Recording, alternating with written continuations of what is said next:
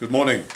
It's Good News Friday. I will be talking about England, this amazing place. I'm a big fan of the English people. And I understand what is happening here. Why the UK is leaving the EU tonight at 11 pm. And I think it's important to remember the sequence of events, what is happening, why it happened. Because the globalists they will try to persuade people that it's something else. They will invent some bullshit cause for this, like uh, hatred, or uh, the Russians, or Trump, or something, you see? But this is really what happened. It started with the people. You know, I think there is something with the English spirit. It's a tradition, but there's something here they are standing up to bullies, you see. That's what they do, the English citizens. And this is what happened. They started talking to each other and they agreed. They agreed that they didn't like being bullied by these assholes in Brussels. Yeah, that's what started it. And then came along Nigel Farage. He told this story himself. He was listening to people, you see, and he decided to do something and uh, people started to support him, right? So it started with the people, of course. and then you had this referendum finally in 2016 and this beautiful result. And then what happened? Well, you were bullied again, right? By your own establishment, by your own politicians, by the BBC. It was despicable. So they tried to stop you, and then again you stood up to them. Yeah. And then you had this amazing result in the election in December. This was fantastic. And now you're leaving. It's great. So you did it. Against all odds, as I said. You know, the globalists, I, th I think they were certain that they would be able to stop this. They had it all planned out. They had Theresa May, they had all these, they had the BBC, everything. The establishment was just fighting this decision to leave. But it still happened. It's, uh, it's beautiful, that's what it is. And I think you guys in England, you have created this road here in Europe.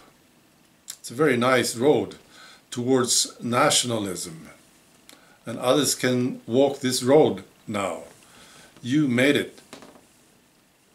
Yeah, I, I love this.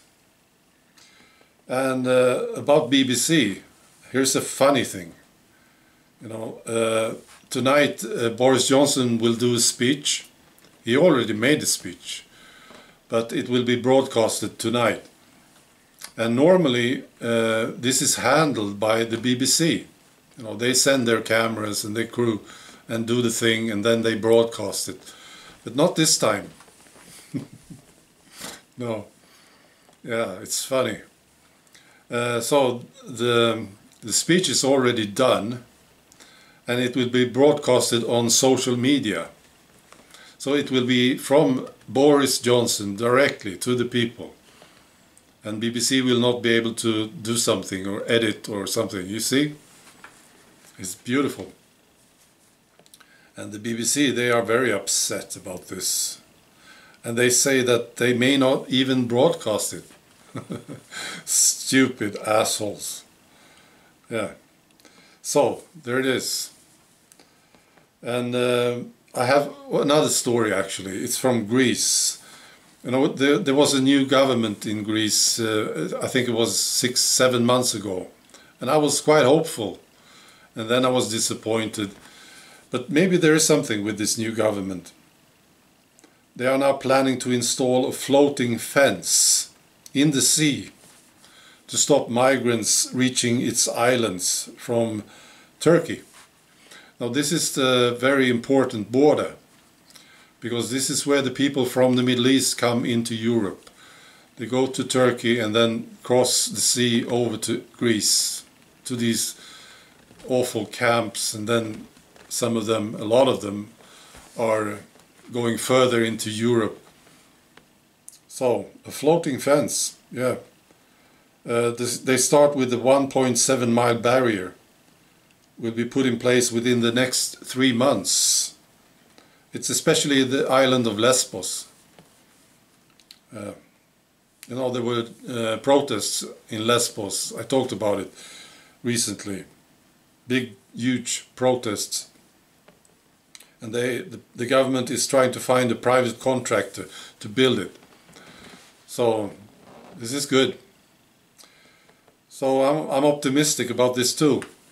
But the thing is, uh, I hope you celebrate very well. I know you will in the UK tonight. Uh, I wish I could be there, but I can't. But uh, I'm with you in spirit. All right, I wish you a fantastic weekend. Bye.